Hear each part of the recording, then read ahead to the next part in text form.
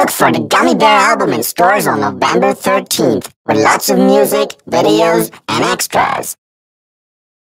Oh, I'm a gummy, gummy, gummy, gummy, gummy, gummy bear.